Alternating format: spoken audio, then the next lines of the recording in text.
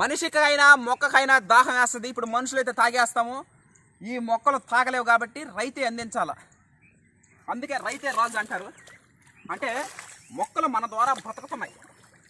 ఆహారంగా అందులో మనం చేసేది సీవియర్ మెథడ్ కాబట్టి సోమశిల డ్యామ్ నీళ్ళు అందించడం ద్వారా బాగా వెన్ను తీసి అధిక దిగుబడులు సాధించగలుగుతాం.